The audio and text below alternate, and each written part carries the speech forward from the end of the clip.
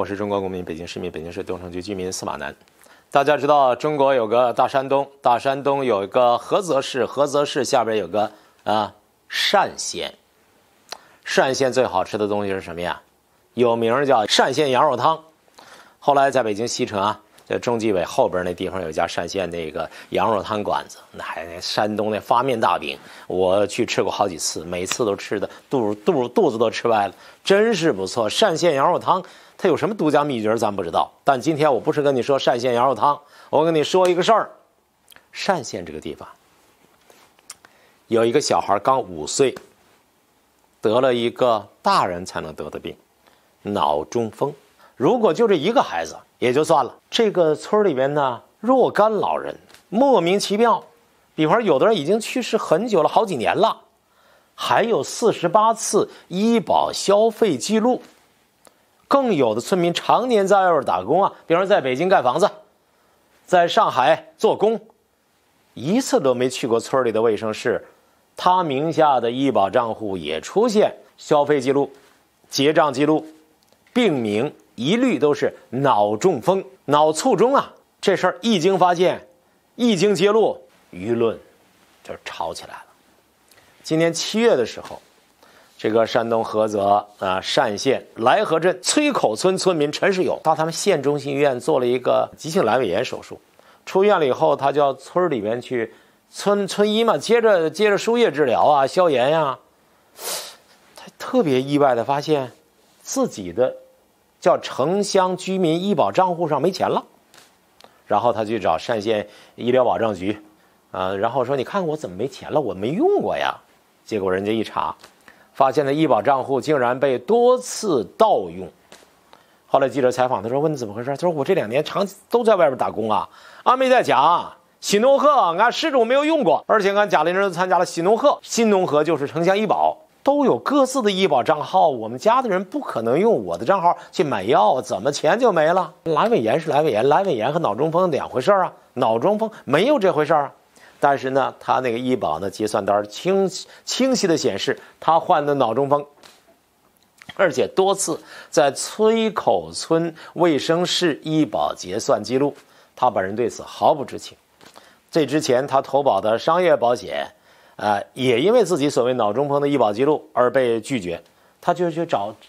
据说，据说这个新农合的东西和商业保险之间也存在这种连带关系。这一本说你花了那么多钱了，这一本你去找商业保险，商业保险人家不认账了，说你那脑中风啊，我不能赔你，你脑中风啊。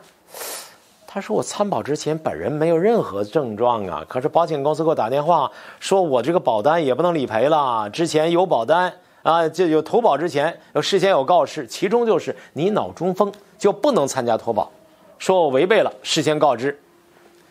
就这个村儿啊，村民啊，陈世勇购买商业医疗保险，但是因为脑中风的医保结算记录被保险公司拒赔的事情，那陈先生当然非常愤怒啊。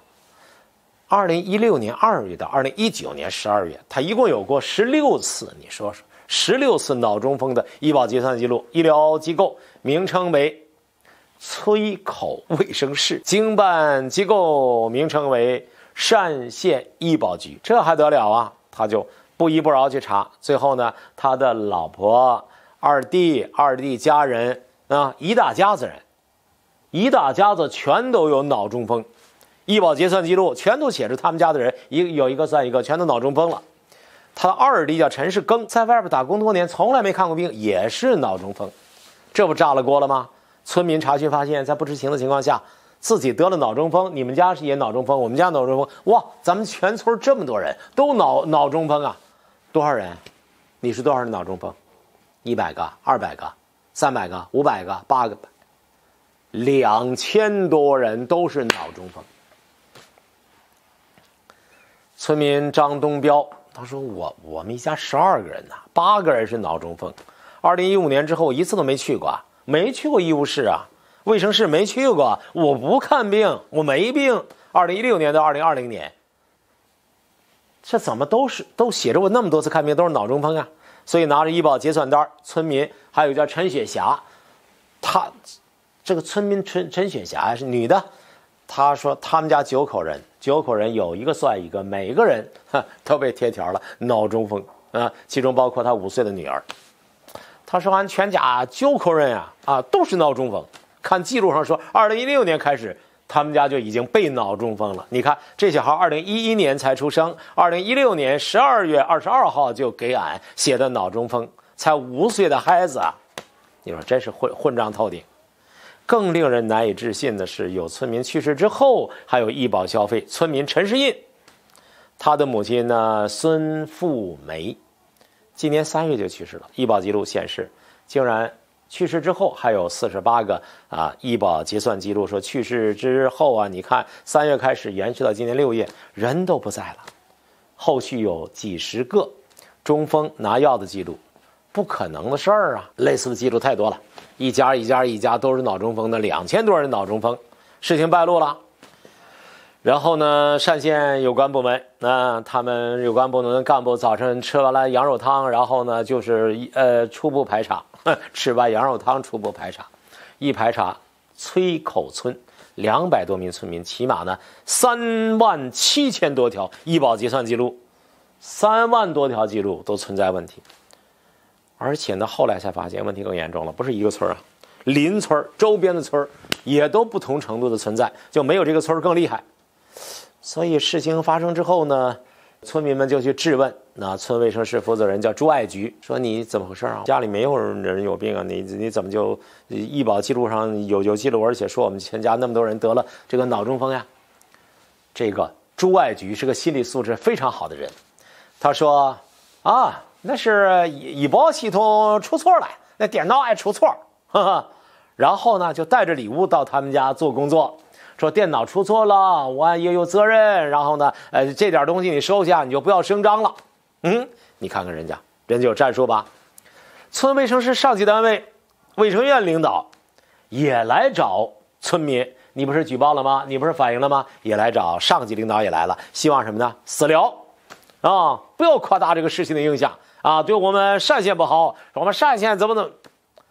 这个村民呢，有觉悟的人就。就不答应，说没有道理啊！你你现在你现在你这么，我要收了你这个礼，那我站不住脚了。我到医保局反映给领导，医保局如果说卫生室或者是卫生院来这么说，还可以理解。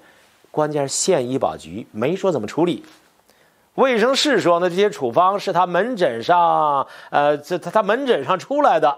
啊，有说是上级卫生院出来的，现在呢也不也不清楚，反正电脑出毛病了，你能把我们怎么办？这个村卫生室的负责人呢，叫法定代表人，叫刘福华，他也说，我平时在外边打工啊，平时负责卫生室的是我老婆啊，朱爱菊。刘福华说他也不明白，他们一家子人呢也莫名其妙脑中风了。他说：“我只输个药名，直接就报销了，其他的程序我们也看不到啊，什么病也不知道啊，我操作不了啊。一个小小的诊所怎么就产？大家听明白没有？丈夫是法定代表人，在外边打工，老婆在家操纵的一切。他说，搞笑的是，他说他们家的人也脑中风了。这个单县有意思啊，单县大家知道是山东有名的贫困县，这个菏泽地区都比较穷，但是呢，致富人家有门路。”是吧？单县医疗卫生机构管理信系统的页面，只要你输入姓名、身份证号，村医就可以直接开处方药。这下子，嗯，这个法定代表人说要把县里有关部门告上法庭。给记者出示呢，行政起诉显示，二零一六年到二零一九年，村卫生室开出的处方和医疗报销系统、医保报销系统的记载，它它不吻合。后来再查询呢，发现呢，这管理系统明显错误，显示疾病都是脑中风，占比重高达百分之九十以上。叫单县这个村儿，百分之九十以上都是脑中风。经过核实，啊，就有三万多条记录。那么现在问题来了，你说这么多脑中风患者呀，医保部门你为什么没有及时发现纠正啊？哎，这个医保部门的呃这个有一个领导啊说了。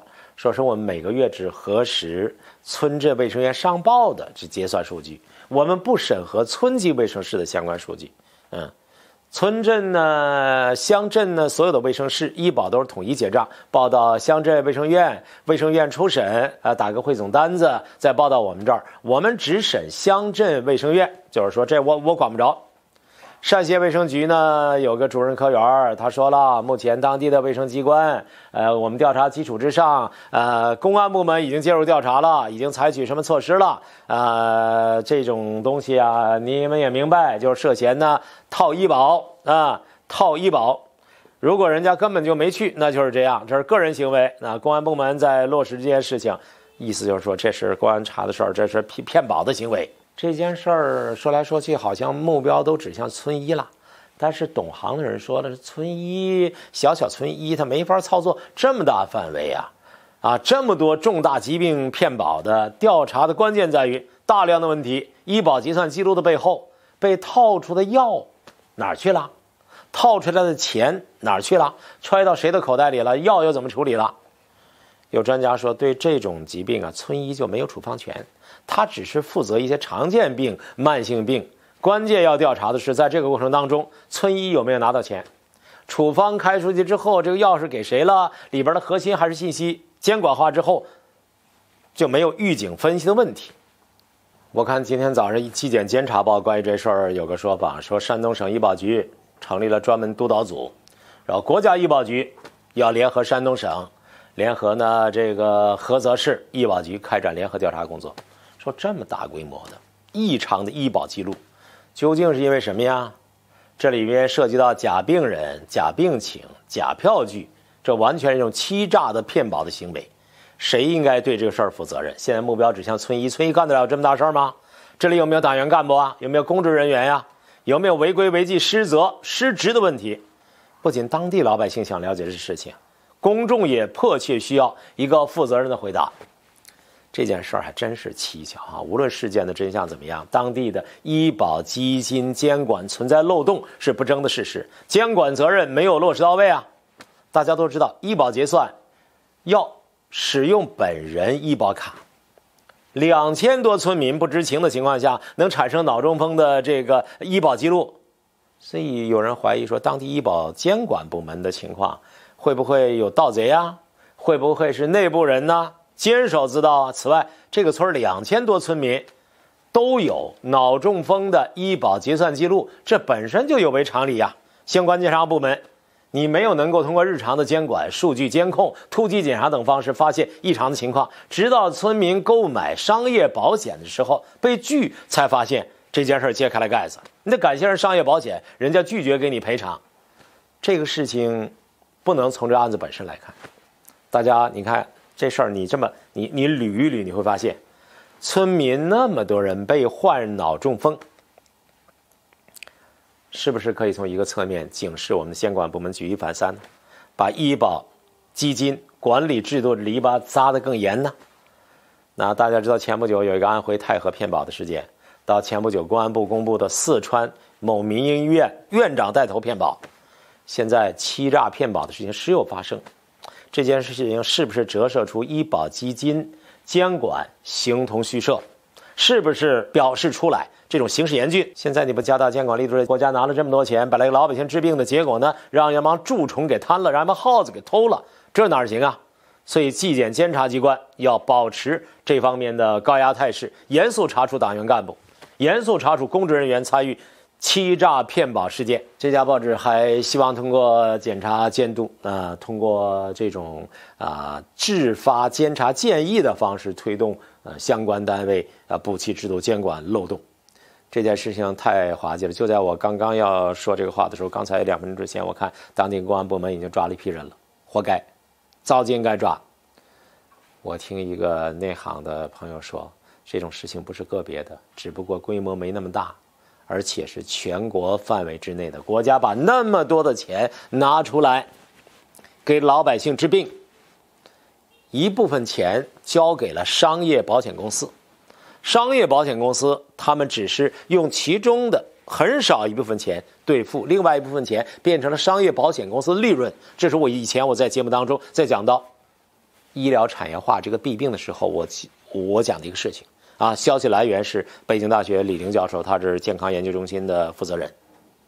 但是这一次我要表扬商业保险机构，商业保险机构他为了少付钱给你，他查的严着呢。一查，嚯，你在投保之前你有脑中风记录呀？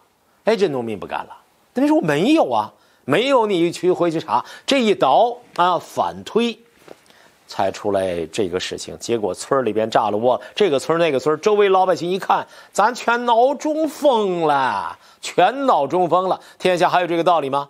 到底是谁脑袋出事儿了？这个问题大家不妨用脑子仔细想一想。感谢收看本期节目，下期见。